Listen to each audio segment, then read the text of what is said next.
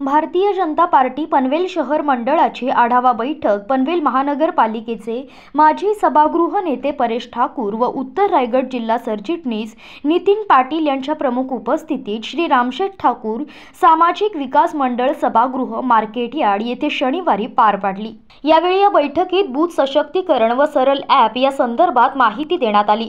यावेळी उत्तर रायगड जिल्हा सरचिटणीसपदी नितीन पाटील यांची नियुक्ती झाल्याबद्दल परेश ठाकूर यांच्या हस्ते सत्कार करण्यात आला. या बैठकीला पनवेल शहर अध्यक्ष जयंत पगडे माजी उपमहापौर चारुशिला घरत माजी नगरसेवक अनिल भगत प्रकाश भिनेदार युवा मोर्चा उत्तर रायगड जिल्हा अध्यक्ष मयुरेश नेतकर पनवेल शहर महिला मोर्चा अध्यक्ष वर्षा नाईक सांस्कृतिक सेलचे जिल्हा अध्यक्ष अभिषेक पटवर्धन यांच्यासह नगरसेवक नगरसेविका भाजपचे पदाधिकारी व कार्यकर्ते उपस्थित होते. पनवेल आणि नवी मुंबईच्या ताज्या घडामोडींसाठी मल्हार टीव्ही न्यूज सबस्क्राईब करा आणि बेल आयकॉन दाबून रहा अपडेट.